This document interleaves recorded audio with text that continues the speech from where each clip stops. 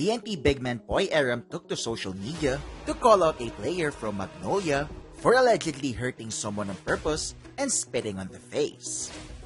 Although Erram did not drop names, he did post a lengthy rant to slam on this certain player, saying that those actions are inexcusable.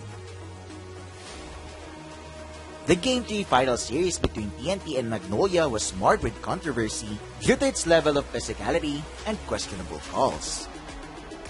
Even TNT team owner Manny V. Pangilinan commented on the referee's officiating of the match, tweeting that it was the worst officiating by far that he has seen.